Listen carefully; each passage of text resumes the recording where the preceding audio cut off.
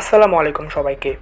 আজকের ভিডিওতে আমরা শাহজালাল বিজ্ঞান ও প্রযুক্তি বিশ্ববিদ্যালয় বা সাস্ট সম্পর্কে কিছু বিশেষ তথ্য জানব।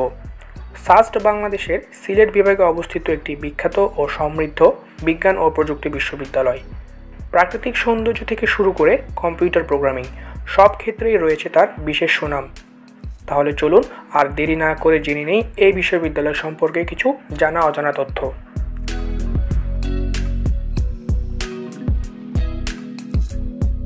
Number one. বাংলাদেশের কম্পিটিটিভ প্রোগ্রামিং ব্লক সিনেপসের র্যাঙ্কিং অনুযায়ী বাংলাদেশের সকল বিশ্ববিদ্যালয়গুলোর মধ্যে সাস্টের র্যাঙ্কিং ছিল তৃতীয়। এই র্যাঙ্কিং তৈরি করা হয় কয়েক বছরের ন্যাশনাল লেভেলের প্রোগ্রামিং কন্টেস্টের ফলাফলের ভিত্তিতে। এবং এই থেকে আমরা এটাই বুঝতে পারছি যে সাস্টের সিএসি ডিপার্টমেন্ট কতটা সমৃদ্ধ।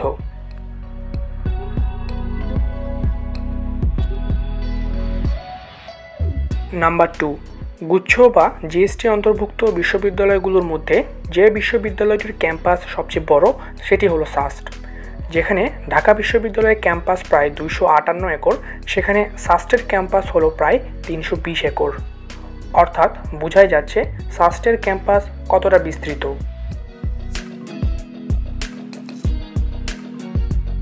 নাম্বার থ্রি বাংলাদেশে সর্বপ্রথম আন্ডার গ্র্যাজুয়েট লেভেলে ইন্ডাস্ট্রিয়াল অ্যান্ড প্রোডাকশন ইঞ্জিনিয়ারিং বা আইপিই চালু হয় এই বিশ্ববিদ্যালয়ে। উনিশশো পঁচানব্বই সালে এই ডিপার্টমেন্টের যাত্রা শুরু হয়। এরপর ধীরে ধীরে বুয়েট সহ অন্যান্য ইঞ্জিনিয়ারিং ইউনিভার্সিটিতেও এই সাবজেক্ট পড়ানো চালু হয়।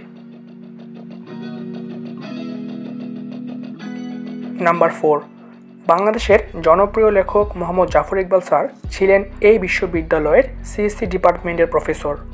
তিনি সেই বিশ্ববিদ্যালয়ের ত্রিপলি ডিপার্টমেন্টের হেড হিসেবেও দায়িত্ব পালন করেন। তিনি দু হাজার আঠারো সালে তার শিক্ষকতা পেশা থেকে অবসর গ্রহণ করেন। Number five. সাসটি বাংলাদেশের সর্বপ্রথম বিশ্ববিদ্যালয়, যারা সেই বিশ্ববিদ্যালয়ের ছাত্রছাত্রী ও স্টাফদের জন্য ফ্রি ওয়াইফাই ব্যবহারের সুযোগ করে দেয়। নাম্বার সিক্স বাংলাদেশের সর্বপ্রথম সার্চ ইঞ্জিন পিপিলিকা তৈরি করা হয়েছিল এই বিশ্ববিদ্যালয়ের শিক্ষক ও শিক্ষার্থীদের যৌথ প্রচেষ্টায়। এই সার্চ ইঞ্জিনটি দু হাজার তেরো সালে লঞ্চ করা হয়, যদিও এর কার্যক্রম বর্তমানে বন্ধ রয়েছে। নাম্বার সেভেন সাসটি বাংলাদেশের সর্বপ্রথম বিশ্ববিদ্যালয়, যেখান থেকে এস এম এর মাধ্যমে ভর্তি প্রক্রিয়া চালু হয়। এছাড়াও আরও অনেক বিশেষ তথ্য ও বিশেষ অর্জন এই বিশ্ববিদ্যালয়ের রয়েছে, যার কয়েকটি আপনারা স্ক্রিনে দেখতে পাচ্ছেন।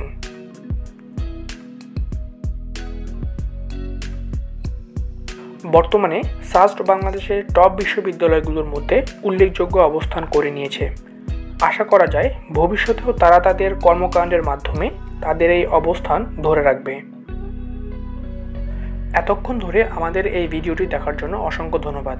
ভিডিওটি ভালো লাগলে ভিডিওটিতে একটি লাইক করবেন এবং আমাদের চ্যানেলে নতুন হয়ে থাকলে চ্যানেলটি অবশ্যই সাবস্ক্রাইব করবেন।